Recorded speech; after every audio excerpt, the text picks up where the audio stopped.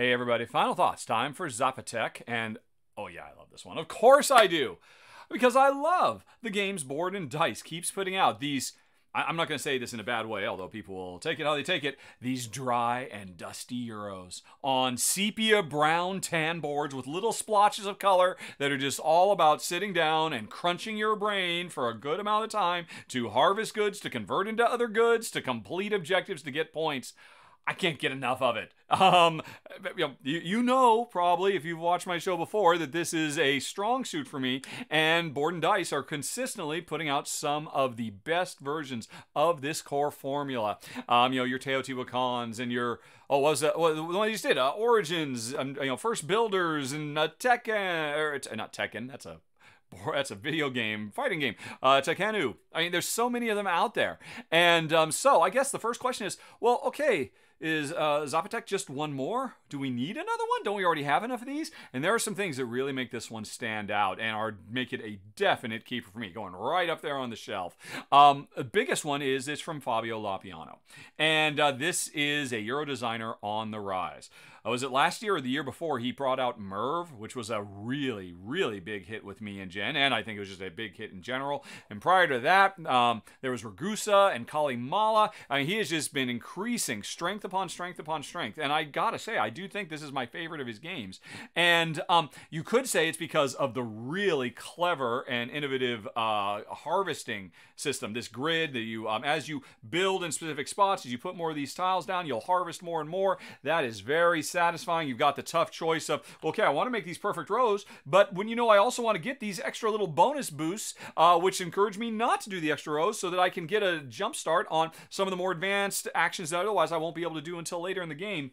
Um, and then as you're building these, trying to diversify or, you know, simplify and streamline down, this is a fun little thing all by itself. And then on, it just drives what's already a cool game. So I love that.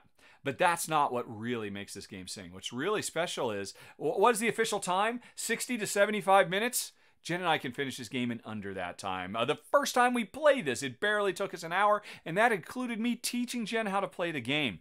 This is a robust full throated, wonderful Euro, uh, you know, along the lines of what I was talking about earlier, that plays in a fraction of the time. And yet, it is so satisfying. You are only going to play over five rounds.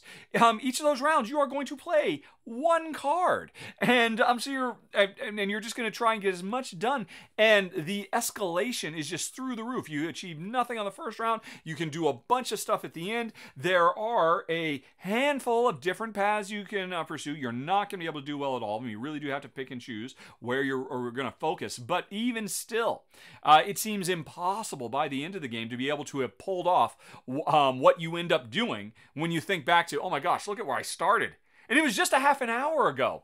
I mean, I could play three games of this in the time it would take me to play a Teotihuacan, and I get all the same feels. I get the highs and lows. I get that really good buzz of, of you know, building towards something, seeing my long-term goals and finding a way to make them happen, seeing them maybe be manipulated by other players and having to pivot. Um, also, I love initiative based card games. You know, ever since Gloomhaven, the idea of, okay, well, I really want this, but oh, I need to go first because we're both. I, you've got coins, I've got coins. One of us is going to get that. So I could play this eight and maybe it'll be fast enough, but I don't even want to build temples. But your pyramid is focusing on temples. And if I get at least one level of your pyramid done, then this would make it worthwhile. Okay, I'll go for it. And then you played a seven. Ah! You know, I mean, I, I, love that that there is in such a tight packed little space of time a lot of really interesting exciting drama. And while my run through didn't get a chance to show it um, you know the centerpiece of the game these wonderful looking plastic pyramids that can build up over the course of the game these are absolutely lovely but it's great that multiple players can work on them as well. And uh, you know that's just a lot of fun two. Uh, you know, in a two-player game, you're only ever going to see two of them built, and uh, the more the more levels you build, the more you can actually invest in the long-term goals. But as soon as one gets built, that becomes a extra in-game scoring bonus that everybody can pursue if they contribute. And so you will often see players, um, you know, oh, you started that pyramid, I'm going to finish it, um, because I mean, if you finish it, you know, if you finish a level three pyramid all by yourself, that's 15 bonus points for you. That's going to win the game. I've got gotta jump in there so at least I get five of those 15 points. And now that I'm in it with you, I need to start building some temples so I'll get some benefit of it too. So there's a lot of really interesting, subtle, but omnipresent, um, you know, uh, intertwinedness between players.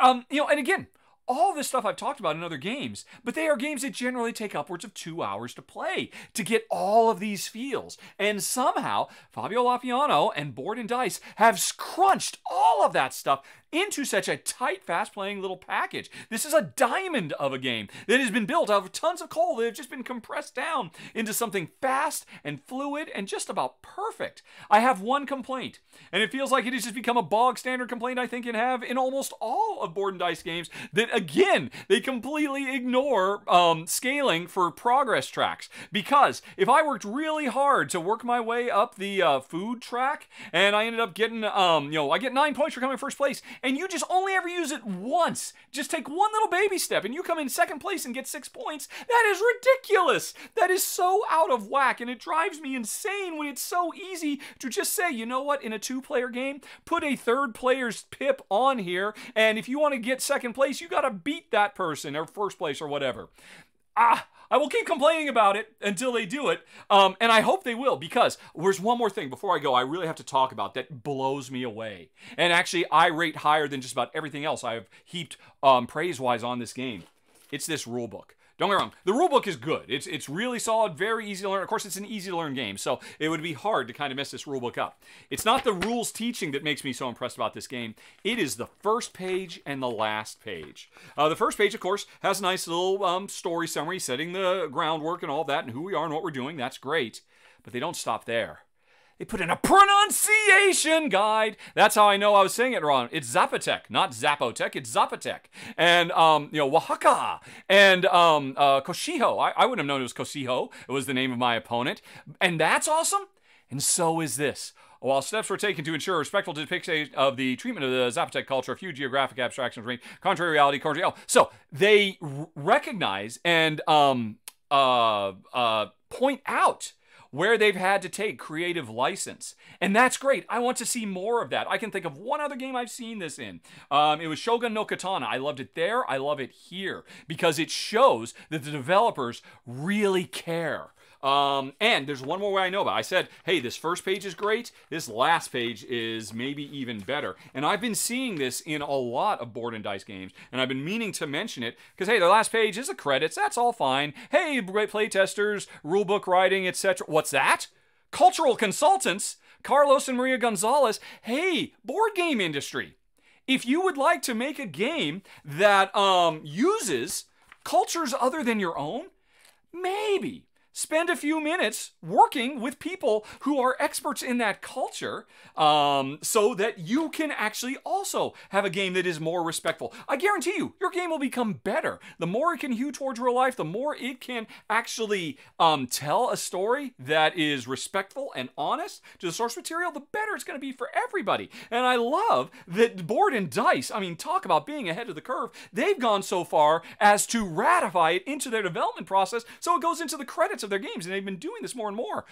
Oh man, Zapotec makes me so very happy. One minor complaint that I'll probably just go have to go a house rule, like I have to keep doing. Um, but otherwise, just a phenomenally big game in a decent sized package in a very short time frame. That's Zapotec. And thanks for watching, everybody. Talk to you later. So long. Uh, bye bye.